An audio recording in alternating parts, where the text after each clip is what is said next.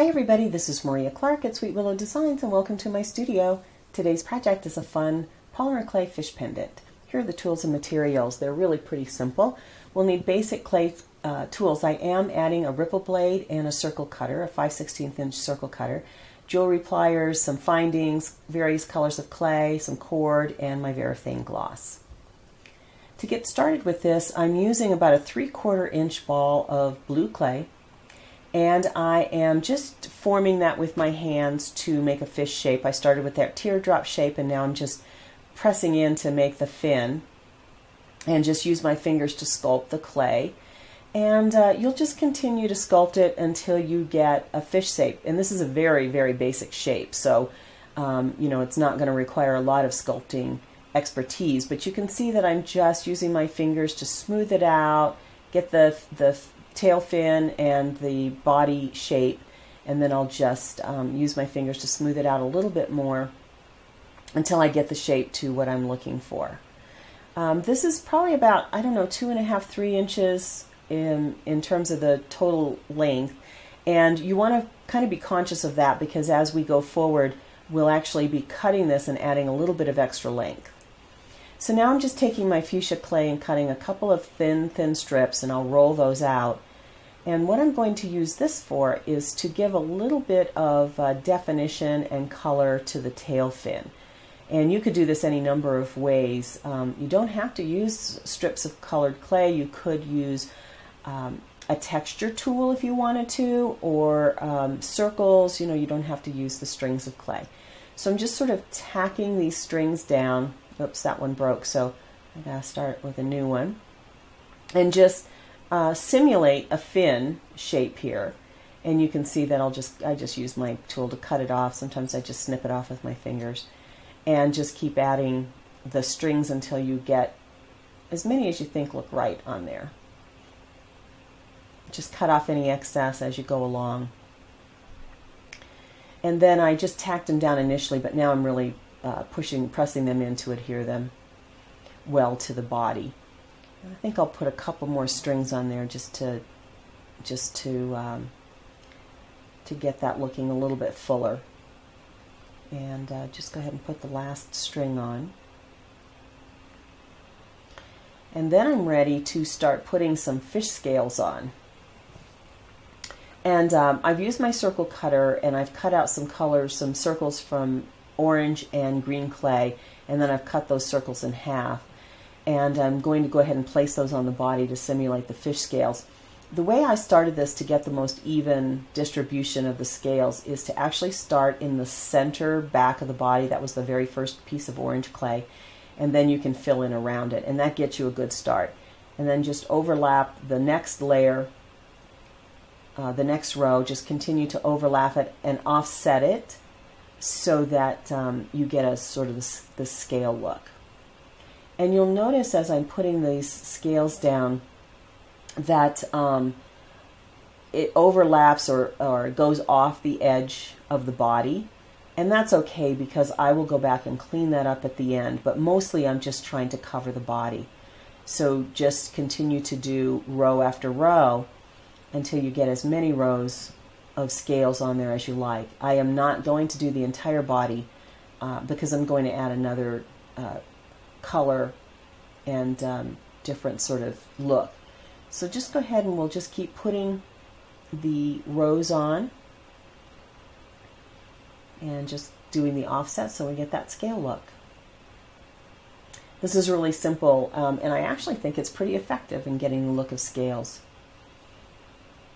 So the tools here are really simple. We don't really need to have a lot of tools that we're investing in to get uh, lots of different kinds of look with polymer clay. That's kind of the fun of it all.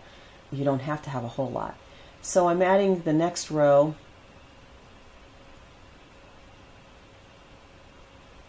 And you can see that I've sped this up quite a bit um, so you can just get the sense of how this works out. And now I'm putting the final row on.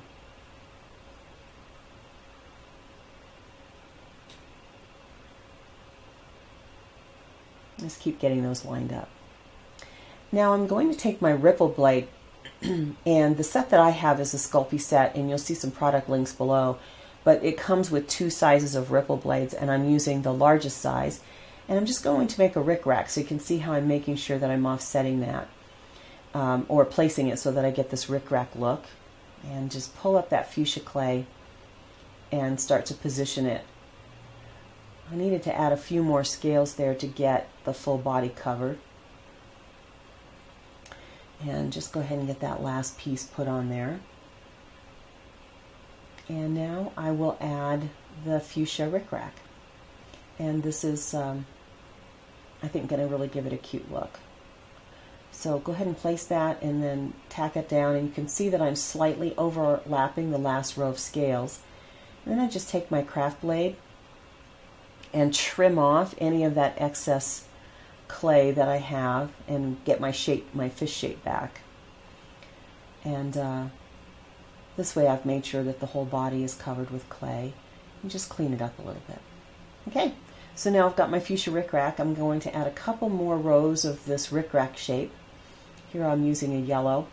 One thing about this yellow, I notice that it does darken, so keep in mind your colors when you're creating this. And uh, I'll bump that up against the fuchsia. See how cute that looks? I think that looks really cute and it gives it just a, a little bit more interest. Snip off the excess there. And then I'll add my third row of rickrack, which is this bright green. Same technique, and then bump it up against that and get any excess off. Now the next step is to add an eye. So I'm just using one of my full circles of orange clay get that pushed down, and then I'm going to take um, a bit of white, just a teeny little bit of white, which will be smaller than the orange, size of the orange, and place that, see how I've placed it there, and then just tamp it down. So I'm getting the start of the eye, and then the last piece is a little bit of bright blue, and that completes the fish eye. I think that looks really cute. Now, um, what's a fish without a little bit of a smile? So I'm going to take a little string, this one of the strings of this fuchsia clay, and make a little C shape for the smile. And I think that'll give it another little bit of whimsy for this fish. And take off the excess, smooth that out. And there you go. That really completes the basic sculpting and um, applying the various colors that we'll use on our fish.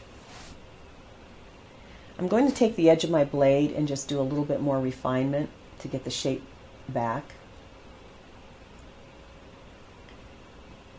There, that looks really good. All right, now I'm ready to cut this. Now you don't have to cut this, you can leave it exactly like this and just use it as a pendant, but I want to have a little bit of movement.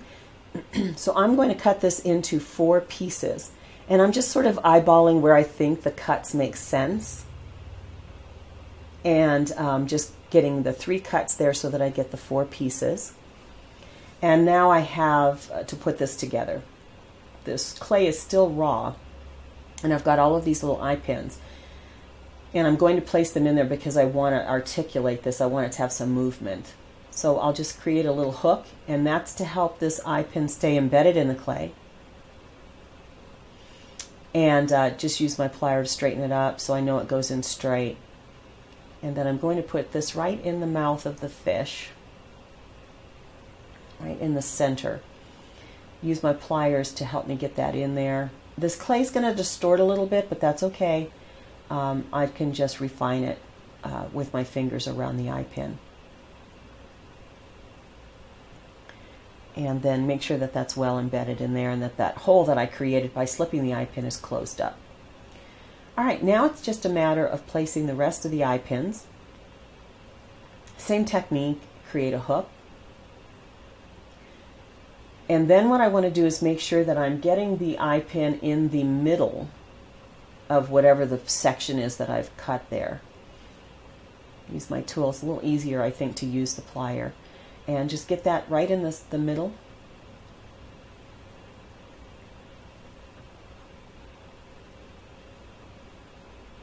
And then close it up. and I'm trying to be a little bit careful not to distort the clay too much. You can't help get with some distortion just using a rubber tool to close up that gap that I created. And then I can just go ahead and do that with the rest of these pieces. I need to add a piece, um, two uh, eye pins to the first three pieces and then one eye pin on the tail fin.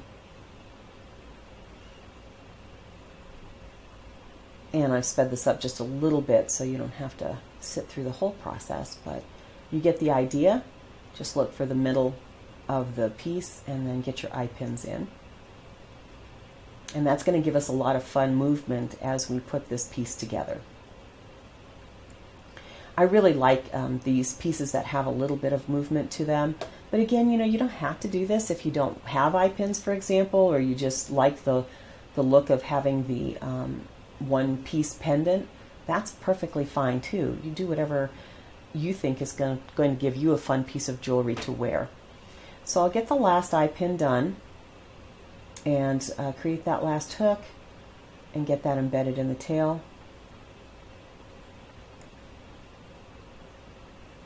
And now I've got these pieces all together. I'm going to cure it on the card, and now I'm just kind of figuring, trying to remember how it came together and just get it back together. And um, get that in the oven for 60 minutes, and be sure to tent it with aluminum foil or paper, or something to prevent scorching. One thing that I did want to mention is after the piece was out of the oven um, and cooled, I did varnish it with Varathane gloss to bring out the color and to give it a little bit of shininess, and then I cured that for about uh, 20 minutes. Now I'm using a 4 millimeter jump ring to attach each one of these pieces. You kind of have to pay attention when you use the jump ring to make sure that your pieces are going to fall correctly. So just kind of notice that when you're putting it on. So twist to open those jump rings. And I use the plier to hold it steady because those jump rings are really small and, and they were a little small for my fingers. So just twist that closed again and make sure that those jump rings are really secure. And you'll go ahead and add one so that you can put all these pieces together. And that's going to give us a nice movement, a nice swing to the fish. Almost kind of like uh, how they would look as they move through water. All right, so let's get the head on there. And get our last jump ring closed up.